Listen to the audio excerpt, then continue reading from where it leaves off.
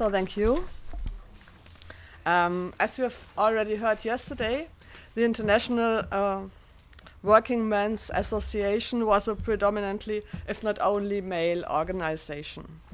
And this is not as self evident as it might seem. After all, women had been participating actively and in large numbers in earlier so called utopian socialist movements. The second half of the 19th century saw the emerging of various feminist groups and organizations focusing mainly on the promotion of women's access to the labor market.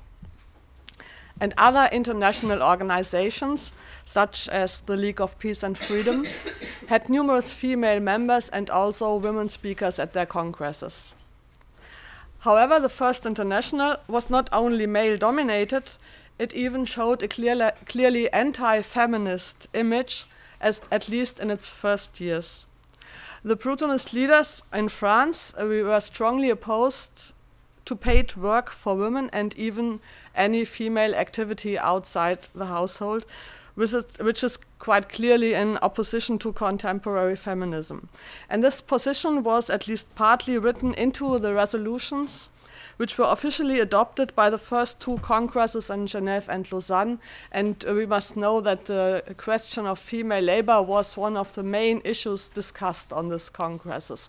And the French um, and the Paris section uh, had her uh, anti-feminist resolution, which was adopted at the congresses, printed in brochures to distribute in Paris. So they actively claimed to be an anti-feminist organization.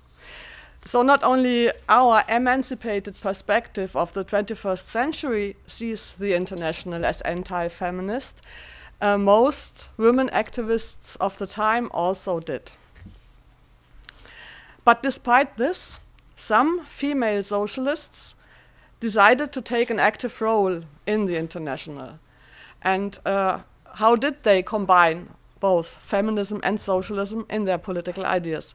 And in my dissertation, uh, which was published 15 years ago, so I hope I'm not so up to date, but I don't know, I discussed the political ideas of four of these women activists. You see, oh, you see three of them here because uh, from one, uh, Virginie Barbet, I do not have a picture, so if any one of you does, I would be very curious to know how she looked like, but I was not able to find a picture of her. Virginie Barbet was uh, one of the leaders of the International in Lyon and member of the Bakunist Alliance of Socialist Democracy. And then uh, I have Elisabeth Dmitrieff, which is on the right here, one of the leaders of the Russian section in Geneva, and uh, founder of the Union des Femmes, uh, the maybe largest women's organization during the Paris Commune. In the middle, André Léo, uh, author of and advocate of women's rights, supporter and critic of the Commune, and later leading figure in the protests against the author authoritarian way of the General Council. And at least, uh, at last, uh, Victoria Woodhull, uh, at the left here, a controversial leader of the American suffrage movement who co founded the first English speaking sections in New York, but was expelled from the International at the Hague Congress in 1872. I'm very grateful to be invited to this conference, but as I said, I hoped my research would be somewhat outdated by now. Um, however, it seems that still little attention is being paid to gender issues related to the First International or to its female activists. And this is something that I can partly understand. I myself at first struggled with what I had found out about my protagonists, because when I started my research, I somehow wanted to find a female voice in all this male labor movement thing. Um, but I could not really identify what they stood for and how their positions challenged the male dominance, did they? And what were their opinions on the big questions being discussed under the roof of the First International? Compared to the great polemic texts of the male internationalists, those women seemed somewhat inconsistent. They didn't really fit into the lines of interpretations that are usually used to classify the international's protagonists, such as Marxists or anarchists, for instance. So perhaps that was the reason why researchers of the International didn't find them so interesting. And by the way, the same was true for feminist researchers on women's history. They also showed no interest in uh, those women, as they did not represent strong voices for the classical women's rights arguments either, such as the right to vote, for instance. So the only interesting thing, thing seemed to be the fact itself that they were members of the International despite being feminists. And only when I was ready to admit that, and it took me a while, I, reali I realized that this was not a banal observation at all. Why had they, being feminists, become members of the International in the first place? Victoria Woodhull, for instance, she's one of the few, uh, as uh, we heard yesterday, sub-proletarian voices in the history of socialism. You could even call her a Lumpenproletariat. Um, born the seventh child to a family of uh, petty thieves and con artists, she had earned her living um, for many years as a spiritual advisor and clairvoyant for both sexes, but particularly for women. By doing so, she became acquainted with the most basic life problems of the lower classes poverty, childbearing, exploitation, early death, rape, and so on. Her shift into politics became possible when she fell in love with one of her clients, James Blood. He was an active member of the reform movements of those days, and he helped uh, Woodhull to bring her experiences and ideas into the political arena. Soon after, she made a fortune by giving advice to multimillionaire Cornelius Vanderbilt. She probably had insider information from some of her friends who worked as prostitutes for wealthy clients. And with that money, she did not only open the first female broker office at Wall Street, but also founded her own weekly newspaper, and uh, we will hear more about her activities in the talk of Anthony Taylor later. And uh, she also paved her way into the organized feminist movements of her days. And those mostly middle class feminists, however, did not receive her with arms wide open. They strongly doubted her respectability, and rightly so. Victoria Woodhull openly advocated free love, the abolition of marriage laws, and by no way did she confine her activism to suffrage alone. But then she managed to give a speech uh, advocating female suffrage in front of the Judiciary Committee um, in Washington. And so the suffrage movement could no longer ignore her and instead made her uh, its leader and spokeswoman. So, why did a woman like her join the First International? Why did she have the Communist Manifesto translated into English and published in her newspaper? Why did she co found sections of the International? Why did she organize a demonstration in honor of the Paris Commune? Um, and more of these activities we'll have this afternoon too. All of this only got her into further trouble with the bourgeois women's movement, where she only had problems defending her leadership. We could ask similar questions of Virginie Barbet. Unfortunately, I have not been able, not only I found a photography, I uh, don't know a lot about her as a person. I don't even know her date of birth. But uh, because unlike scandalous Victoria Woodhull, Virginie Barbet didn't make the newspaper headlines of her time. But she must have been a rather important figure in the Lyon International. I stumbled upon her when I found some inconsistencies in the protocols of the Alliance of Socialist Democracy, which led to the conclusion that an important yet unsigned article in the journal Egalité, uh, advocating the abolition of inheritance laws, almost certainly had been written by her and not by Bakunin, to whom is, it is usually contributed. And so I became interested in who this woman was and how she had become involved. She probably uh, first met Bakunin and his allies at the 1868 uh, Congress of the League of Peace and Freedom in Bern, where she gave a speech as the representative of the Social Democrat Women of Lyon, which is how she uh, introduced herself. And it was at this Congress that Bakunin and his friends split away from the Peace and, uh, and Freedom League and founded their own organization, the Alliance, which would later join the First International. Barbet's name is not listed among the initiating founders of the alliance, but one year later, in June 1869, she would be listed as a founding member of Lyon. She published some text on atheism, for instance, instance or defending the International against Mazzini, and she supported and commented on the big strike of mostly female textile workers in the summer of 1869 that brought a lot of new members to the International even though their demands were only half-heartedly supported.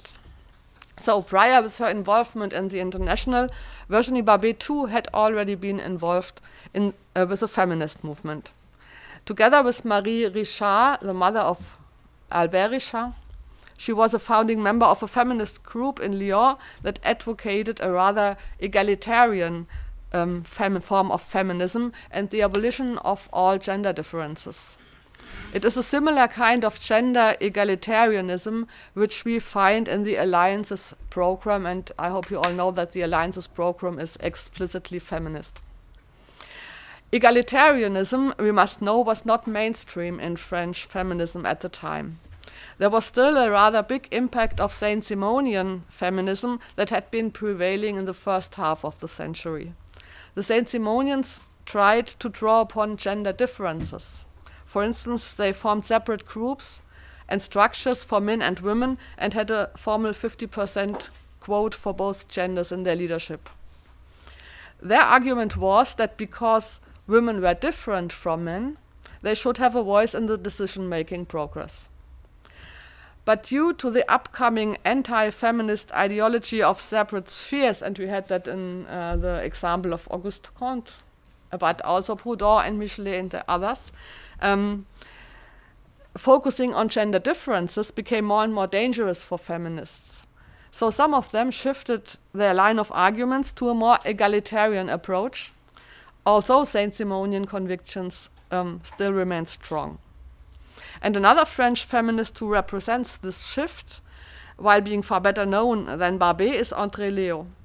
By the time she joined the International at, uh, in the late 1860s, she was a well known author of novels with strong female characters, and she had also been involved in various feminist organizations and activities uh, prior to joining the International. For instance, she was one of the principal founders of the Société pour la Revendication des Droits de la Femme.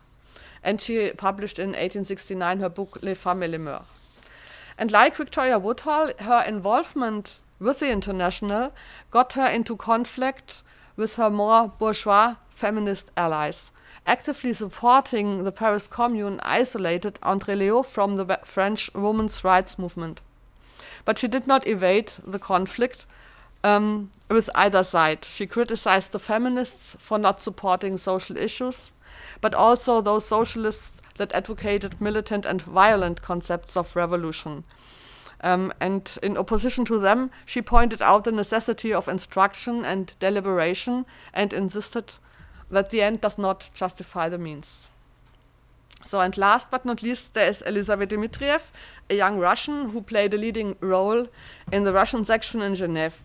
She was only 19 years old, so to make the age, uh, in uh, 1871, Victoria Woodhull was about 33, André Léo 47, and uh, Elizabeth uh, the youngest, only 20 years old.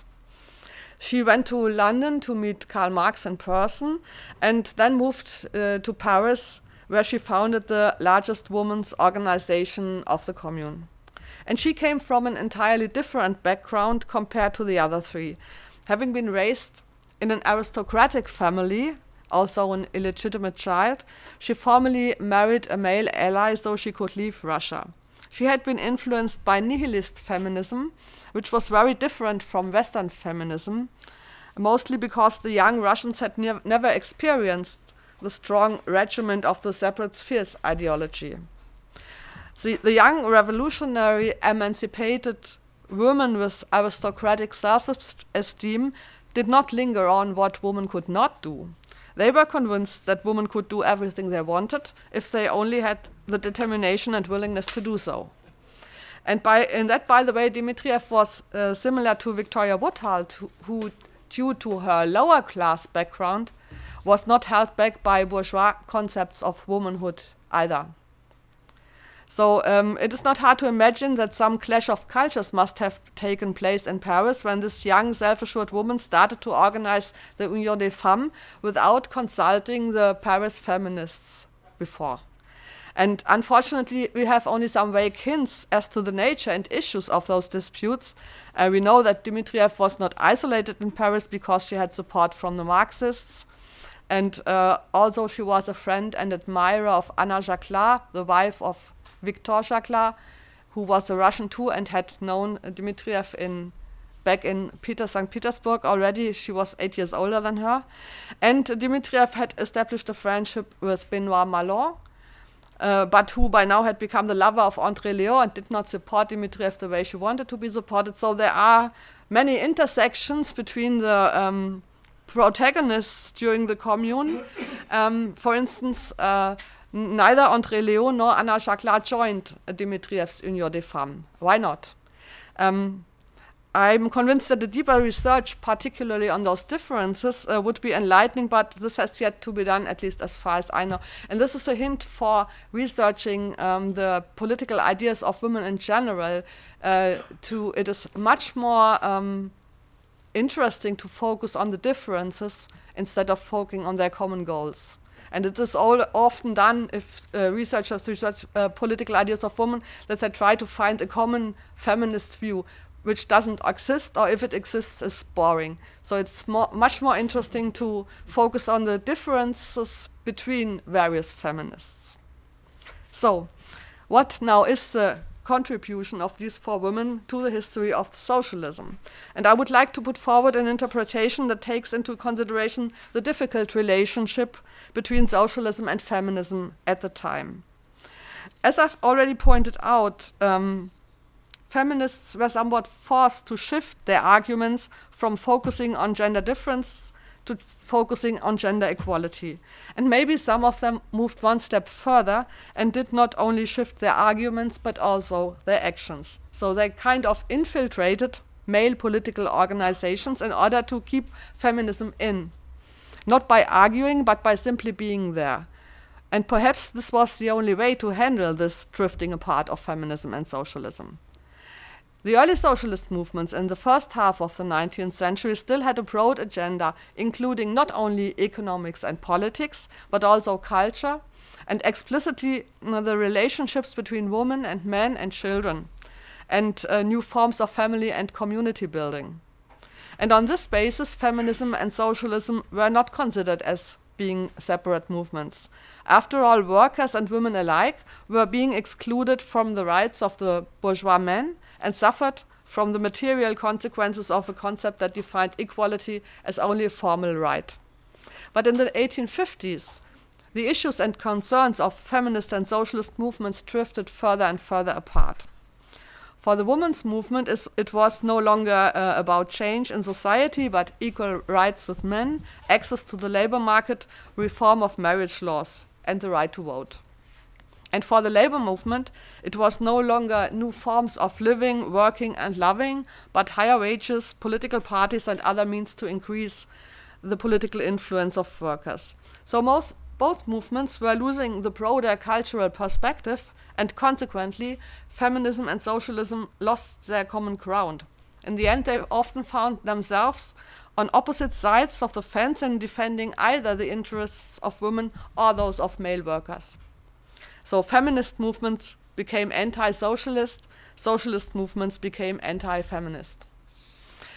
A woman with a feminist agenda that joined a male-dominated uh, labor organization made it out of that stalemate. She would criticize and contest that stalemate, not by writing yet another pamphlet or founding yet another party, but by proving it wrong in action.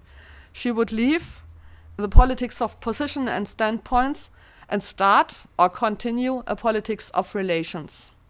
So uh, I call this embodiment of politics.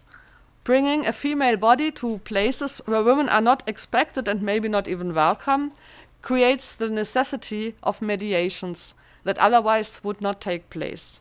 So, what seemed inconsistent and weak in matters of positions and straight opinion now becomes reason reasonable.